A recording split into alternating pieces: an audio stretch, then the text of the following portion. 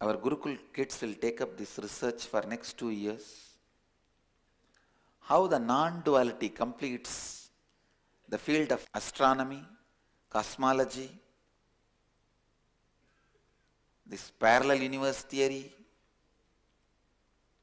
astrophysics, how the non-duality completes psychology, physiology, biology, arts, how the non-duality completes,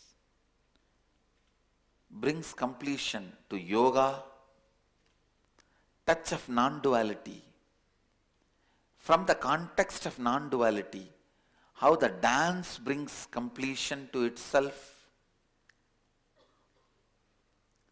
how dance reaches completion with the touch of non-duality. Chemistry reaches completion from the context of non-duality.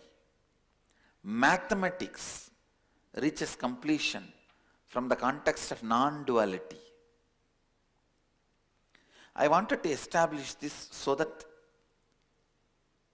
all education methodology in any field, the non-duality should be the primary school syllabus. When the kids enter the school, the primary school, study non-duality.